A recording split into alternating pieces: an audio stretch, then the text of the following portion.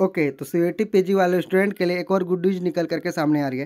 तो जैसा कि दोस्तों, आप लोगों के लिए सी यू जे यानी कि सेंट्रल यूनिवर्सिटी ऑफ़ झारखंड अपना खुद का रजिस्ट्रेशन पोर्टल का लिंक स्टार्ट कर दिया है। अब यहाँ पे जाकर के आप लोग रजिस्ट्रेशन कर पाओगे। तो बेसिकली यहाँ पे सभी लोग रजिस्ट्रेशन कर पाएँगे। जितने लोग इस बार सी यू का एग्ज़ाम दिए थे सी यू का एग्ज़ाम दिए थे, वे सभी लोग इस यूनिवर्सिटी के लिए रजिस्ट्रेशन कर पाएँगे। ये ज़रूरी नहीं है कि अगर आप लोगों ने अपने एग्जामिनेशन फॉर्म में अगर इस यूनिवर्सिटी को ऐड नहीं किया था तो आप यहाँ पर रजिस्ट्रेशन नहीं कर पाओगे। ऐसी कोई बात नहीं है। यहाँ पे वो सभी स्टूडेंट रजिस्ट्रेशन कर पाएँगे जिन्होंने CUET का एग्ज़ाम दिया था। तो आज की इस वीडियो में हम डिटेल में इसको कवर करने वाले हैं। इसलिए मैं आप लोगों से रिक्वेस्ट करूँगा, इस वीडियो को अंत तक देखिएगा। और दोस्तों, इसकी पिछली वीडियो में मैंने दिल्ली यूनिवर्सिटी के रजिस्ट्रेशन प्रोसेस को डिटेल में कवर किया था। अगर आप लोगों ने इस वीडियो को नहीं देखा तो इस वीडियो के अंत में मैं उस वीडियो का लिंक दे दूँगा। आप उस वीडियो को भी आराम से देख लेना। अगर आपका मार्क्स लगभग तीस नंबर भी आया हुआ है, चालीस नंबर भी आया हुआ है, पचास नंबर के आसपास भी आया हुआ है तो आप लोग यहाँ पर आराम से रजिस्ट्रेशन कर देना। आपके यहाँ पर एडमिशन आराम से हो जाएगी। क्योंकि दोस्तों, ये जो यूनिवर्सिटी है, ये कम मार्क्स पे भी यहाँ पर स्टूडेंट का एडमिशन ले लेती है। अब दोस्तों, मैं इस पब्लिक नोटिस को डिटेल में पढ़ता हूँ और आप लोगों को सभी चीज़ डिटेल में बताता हूँ। और दोस्तों, अगर आप लोग खुद से इस नोटिस को पढ़ना चाहते हो तो इस पीडीएफ का लिंक मैं नीचे डिस्क्रिप्शन बॉक्स में भी डाल दिया हूँ। आप खुद से भी पढ़ सकते हो। लेकिन दोस्तों, इसकी मैं कुछ हाईलाइट्स पॉइंट्स को पढ़ करके मैं आप लोग को समझा देता हूँ,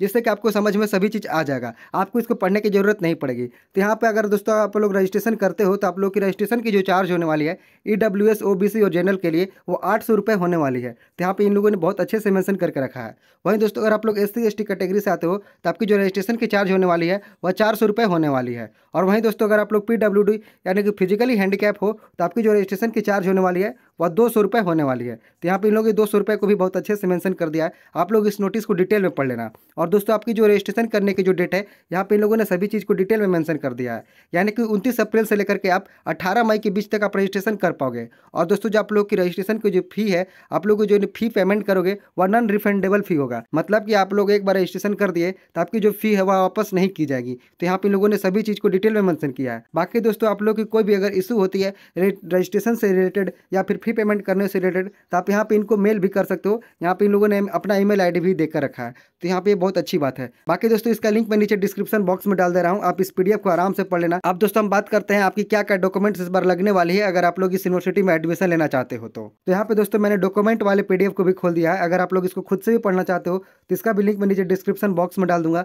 आप लोग इसको खुद से भी पढ़ सकते हो। तो दोस्तों यहाँ पे आप लोग देख सकते हो यहाँ पे इन लोगों ने बहुत अच्छे से सभी चीज़ को मेंशन कर दिया है। आपके पास पासपोर्ट साइज़ फ़ोटो होनी चाहिए और कोशिश करना है कि अपने फ़ोटो के नीचे करेंट डेट को लिख देना और अपने डेट ऑफ़ बर्थ को भी मेंशन करवा देना। तो बहुत ही अच्छा रहता है। और इसके बाद आप लोग का टेंथ का मार्कशीट होना चाहिए ट्वेल्थ का मार्कशीट होना चाहिए। आप लोगों ने कहाँ से ग्रेजुएशन किया है, यानी कि यूजी का कोर्स किया है, उसका मार्कशीट होना चाहिए। और दोस्तों ग्रेजुएशन का डिग्री आपके पास होना चाहिए। उसके बाद आप लोग यहाँ पे देख सकते हो आप लोग का डेट ऑफ़ बर्थ का जो मेट्रिकुलेशन का सर्टिफिकेट होना चाहिए। क्योंकि जो आप लोग का डेट ऑफ़ बर्थ वहीं पर आप लोग का वेरीफाइड डेट ऑफ़ बर्थ है। या तो अपना बर्थ सर्टिफिकेट अगर रखे होगे तो उसको लगाना है। यहाँ पे इन लोगों ने उसको भी बहुत अच्छे से मेंशन कर दिया है। और दोस्तों उसके बाद सीवीटी पीजी का एप्लीकेशन फॉर्म का एक पीडीएफ निकलवा कर रख लेना, वो भी लगेगा आपका। एडमिट कार्ड भी लगेगा और दोस्तों उसके साथ साथ अपना स्कोर कार्ड भी रख लेना। जो आप लोग का स्कोर कार्ड है, वो भी लगेगा। यानी कि ये तीन चीज़ आप लोग तो अपने पास रखे ही रहना। क्योंकि दोस्तों इसमें से बहुत सारे लोग अपना एप्लीकेशन फॉर्म को नहीं रखते हैं और यहाँ पे एडमिट कार्ड को भी नहीं रखते। वे लोग डाउनलोड करके भी नहीं रखते तो भाई इसको डाउनलोड करके रखे रहना। नहीं तो सर्वर इसका, इनका अगर बिज़ी हो गया सी टी वाला तो भाई इसके बाद आप लोग डाउनलोड भी नहीं कर पाओगे।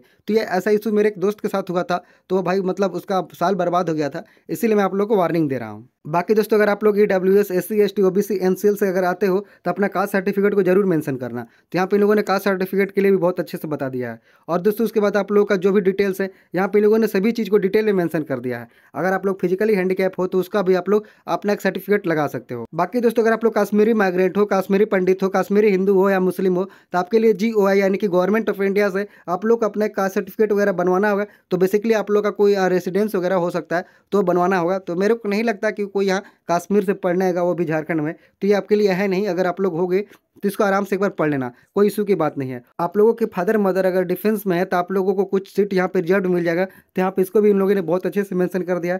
PM care for child scheme, आप लोग अगर इसका कुछ सर्टिफिकेट वगैरह होगा तो आप लोग इसको भी लगवा देना।